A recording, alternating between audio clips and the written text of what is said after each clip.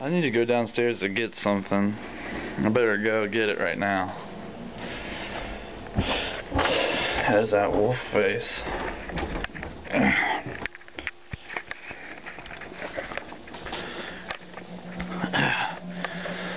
Well, there's no clothes in here.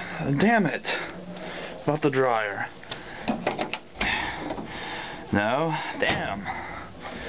Wait a minute. I don't ever remember this fucking door. When was it here? Who put this here? What was it for? Slaves or some shit? I don't know. What the fuck? Oh shit! Ah!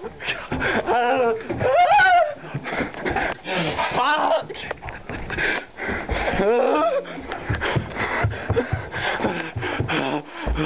Holy fuck. That still fucking down there?